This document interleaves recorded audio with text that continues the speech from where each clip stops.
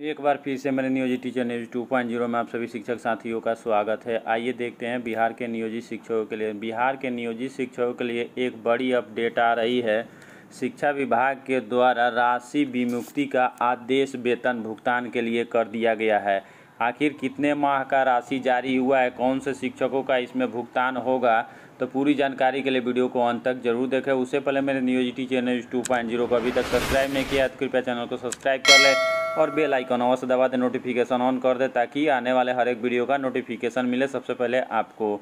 तो आइए देखते हैं वीडियो को विस्तार से। जैसा कि आप पत्र जारी हुआ है, राज्य के माध्यमिक विद्यालयों के विभिन्न नगर निकाय एवं जिला परिषद अंतर्गत नियोजित शिक्षकों के वेतन भुगतान हेतु स्वीकृति आदेश संख्या पाँच दिनांक उनतीस चार दो हज़ार बाईस अंतर्गत दो अरब अस्सी करोड़ सतासी लाख छत्तीस हज़ार दो सौ तिरासी रुपया की मात्र विमुक्ति कर दी गई है। तो टोटल आपको बता दें कि तिरानवे करोड़ सतहत्तर लाख तैंतीस हज़ार नौ सौ सतासी करोड़ रुपया जारी हुआ है। इस रुपया में माध्यमिक शिक्षकों का दो माह का भुगतान होगा, जुलाई और अगस्त का वेतन भुगतान होगा। आज एक आपातकालीन कैबिनेट का बैठक हुआ था, उसी में इस राशि को पास किया गया है। अब प्रारंभिक शिक्षकों का कब तक आवंटन जारी होगा तो अगली बैठक 24 को है।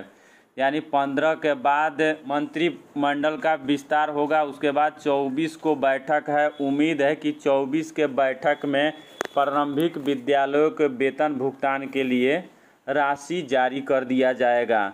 तो इस राशि में आपको केवल माध्यमिक शिक्षकों का भुगतान होगा और आने वाले राशि में प्रारंभिक विद्यालयों के शिक्षकों का भुगतान होगा। तो ये राशि आज ही कैबिनेट में पास किया गया है। आपको स्क्रीन पर दिखा दे रहे हैं।